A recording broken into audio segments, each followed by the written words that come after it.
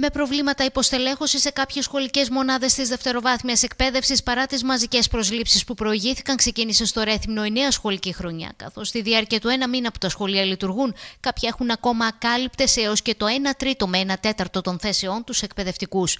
Ενδεικτικό είναι ότι υπήρξαν σχολεία για τα οποία το πρώτο κουδούνι χτύπησε έχοντας μόνο διευθυντή και υποδιευθυντή, ενώ τώρα μόνο με τη δεύτερη φάση προσλήψεων των αναπληρωτών αρχίζουν να στελεχώνονται και να ομαλοποιεί τη λειτουργία τους. Δεν ξεκινήσαμε τόσο τόσο καλά όσο λέει το Υπουργείο. Η ύλη μένει πίσω και από τη μια έχουμε τη Τράπεζα Θεμάτων που πρέπει να βγει η ύλη, από την άλλη το ίδιο το Υπουργείο δεν φροντίζει να πληρεί τους όρους ώστε να, μπορέσει να, να μπορέσουν να ικανοποιηθούν οι απαιτήσεις της Τράπεζας Θεμάτων. Είναι μια αντίφαση όλο αυτό και μια προχειρότητα. Και ενώ η Ελμέρ μιλάει για την επιτακτική ανάγκη νέων μόνιμων διορισμών, στο προσκήνιο επανέρχεται και το οξύ στεγαστικό που αντιμετωπίζουν ορισμένες σχολικές μονάδες, κυρίως της πόλης. Το πρόβλημα της ειδικής αγωγής που είναι εξαιρετικά πιεστικό.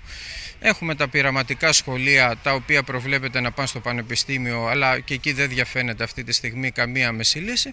Και φυσικά είναι και το Μουσικό Γυμνάσιο και Λύκειο, το οποίο φιλοξενείται εδώ και ε, χρόνια σε άλλη δομή, που δεν είναι καθόλου κατάλληλη για τους σκοπούς του. Την ίδια ώρα, μεγάλο αγκάθι φέτος για τους εκπαιδευτικούς είναι και οι θεσμοί του μέντορα, του ενδοσχολικού συντονιστή και του υπεύθυνου εκπαιδευτικών ομίλων, για τους οποίους η ΕΛΜΕΡ, προχώρησε σε παράσταση διαμαρτυρίας έξω από τη δευτεροβάθμια εκπαίδευση, ζητά την άμεση κατάργησή τους. Το Υπουργείο ουσιαστικά παραβάλλει ένα φυτίλι να δυναμητήσει τη σχέση των συναδέλφων. Το θεωρώ πολύ βασικό. Πάει να κατηγοριοποιήσει, ας πούμε, μέσα στο σχολείο τους συναδέλφους σε μέντορα κτλ. Όπως στο στρατό έχουμε το συνταγματάκι, το συνταγματάκι και τα υπόλοιπα.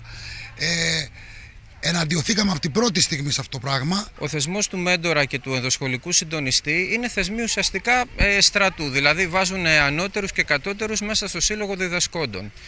Παρόλο που η κυρία Κεραμέως μιλάει για αξιολόγηση, η ίδια με τον νόμο της την ακυρώνει, καθώς ένας μέντορας μπορεί να οριστεί από το διευθυντή του σχολείου ανεξαρτήτως των όποιων προσόντων του, αν είναι ας πούμε της αρεσκίας του, του διευθυντή και αυτό όπως καταλαβαίνετε ούτε παιδαγωγικό είναι, ούτε συμβάλλει στην ε, καλλιέργεια καλού κλίματος μέσα στα σχολεία. Οι εκπαιδευτικοί πάντως παραμένουν σε θέση μάχης καθώς προγραμματίζουν για το επόμενο διάστημα συλλαλητήρια και απεργιακές κινητοποιήσεις.